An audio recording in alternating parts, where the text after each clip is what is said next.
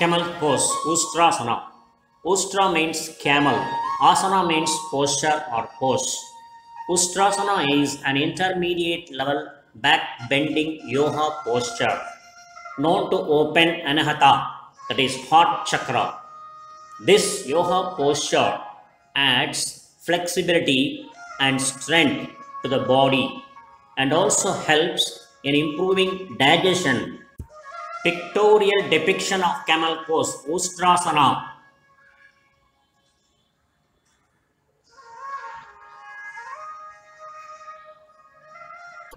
How to do camel pose, Ustrasana.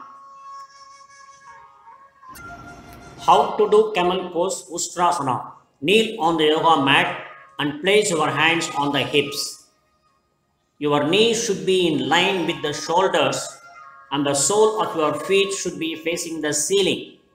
As you inhale, draw in your tailbone towards the pubis as if being pulled from the navel.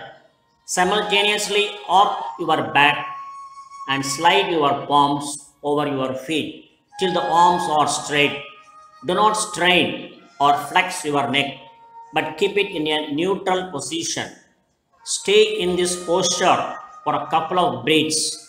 Breathe out and slowly come back to the initial pose. Withdraw your hands and bring them back to your hips as you straighten up.